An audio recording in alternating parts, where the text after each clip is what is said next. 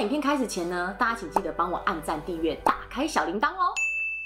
事情是这样的，就我明天要去新加坡，那为什么又过去呢？就是因为我的狗狗不是已经十七岁了吗？就我的 YouTube 频道现在就是变成不定期上片，因为我不知道要怎样去面对这个东西啊。我有讲过说，我之前又找了一个新加坡的那个沟通师嘛，反正不管你们信不信嘛，他讲的跟第一个一样，就是他还是想要自然走，可是他现在已经就是一个礼拜可能会有五天。的不开心，可能脚没有力气，他可能就是会上厕所的时候，然后就站不起来，带去给医生看，医生就说这个跟 quality of life 生活品质很有关系，像这种时候就是应该安乐。但是那个沟通师又说他还是不愿意，他就讲说请妈妈不要担心这样子。我觉得上次我是最后一次跟他见面，那上次其实我是很难过，但是就是觉得哎已经有心理准备，可是我不知道为什么这一次。发现我的反应变得是更大了。前天好像就哭了，哭了有一点久吧。我就是很难去接受这个东西，即使我已经知道他是十七岁了，然后他是我从我在美国读大学的时候就养了，就是去一个农场接他回来，然后他也跟我环游世界啊，就去了很多地方，除了台湾没有来以外，因为台湾入境要检验，然后还要去隔离这样子，所以当初去了香港，然后现在他又去了新加坡。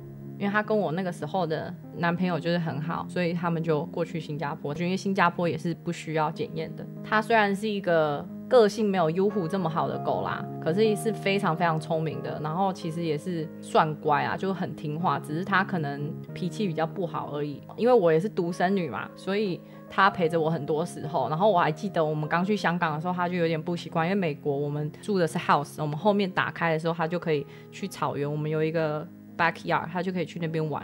然后在香港都是房子，然后呢，很多香港的住宅又不可以住狗狗，所以我带他去上厕所，他不会在家上厕所，他只会在外面上。所以每次我都要背一个，就是那种大背带啊，然后后面就偷偷放着它。我们后面是有找到一间可以住狗狗的，但前面就只能先放在背带，然后偷偷的带出去，然后他上完厕所再带回来。每天就是会带他去三到四次，这样比较辛苦一点。有一次我还记得，就是大台风天。然后都不能出去，他就一直忍住，一直忍住，一直忍住。然后我就带他去厕所，就是那个浴室那边。我就说你这样不不上厕所，就是很担心。结果他要去浴室淋浴间直接尿尿了。我就觉得他是听得懂话的小狗，所以我也不知道之后要怎么录影片，因为我好像都是偏比较开心的，比较需要有状态的时候开台或录影片吧。因为我很长的时间都在跟大家嘴炮啊或怎样的。其实这一次去呢，是去三天而已，因为我。还要工作，我就觉得我花了很大半的时间在工作上面，因为毕竟你有员工嘛，所以你要扛起这个责任啊。虽然事情会发生，可是你的人生还是要继续下去。只是现在我可能不知道怎么去面对这件事情，因为我觉得还是很崩溃。毕竟十七年也是非常长久的，我觉得人都可以有能力去做很多事情，但是狗狗它们就是世界可能就只有。主人或者是身边很亲的人，那我明天飞的时候会飞新加坡航空。其实我的 YouTube 频道就是在讲空服员啊、航空旅游啊，或者是一些有的没有的嘛。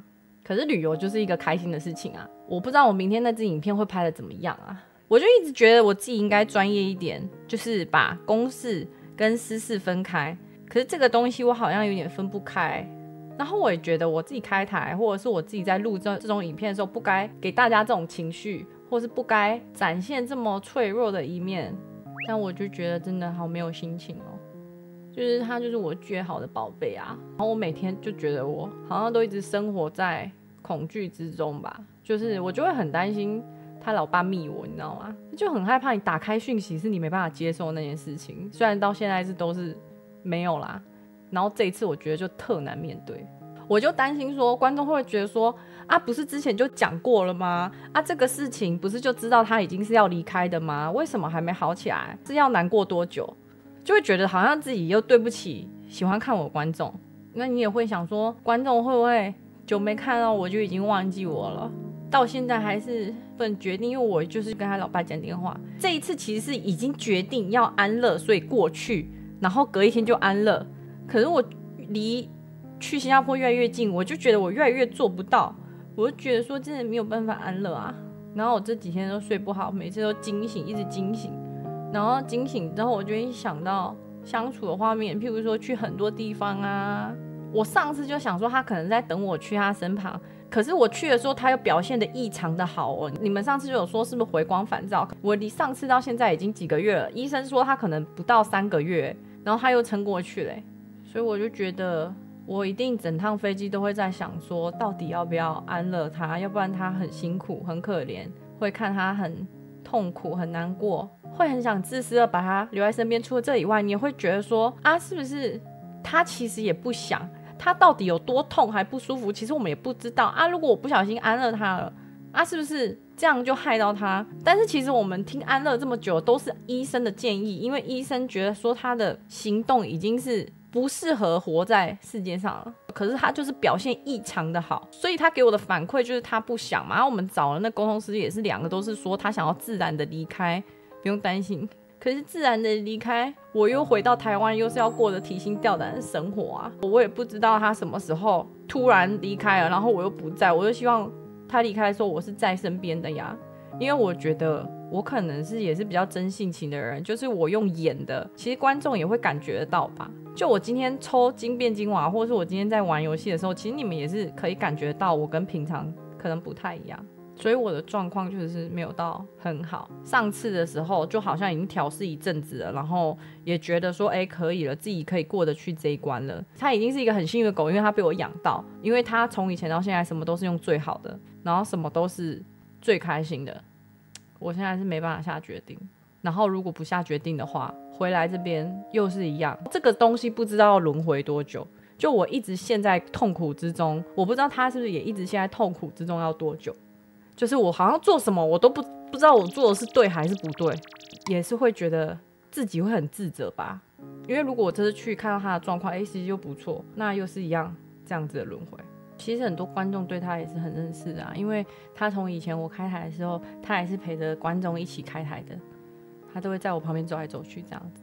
然后我就想说，我发文我又不是那种个性，就是会讲很多很感性的话，就是如果他离开我也很伤心。可我朋友跟我讲说，如果他离开的话，你就不能一直哭，因为如果你一直哭的话，他就很担心你，他要去排队投胎，没办法投胎就回来看你，然后又重排队，因为又不能插队啊，所以我都不敢哭。妈的，老子排队投胎，回去又要看你，又在给我哭这样子，然后所以每次我一想到有人离开什么，我都不敢哭，因为我就很害怕他们很担心我，然后去排队投胎，然后又等我，就是他又不能插队，又重新排，然后就觉得上次已经。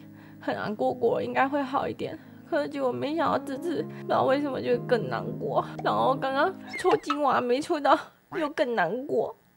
我觉得他只要不辛苦，觉得他这辈子是已经是一个开心的狗狗，我就觉得没有遗憾。之前去那个宠物展，然后有那个跑步比赛，我就站在终点，然后我说 Q B Q B，他就跑最快，然后跑到中间还起飞。停格了一秒，然后落地的狙跑，然后他保全台港澳第二名。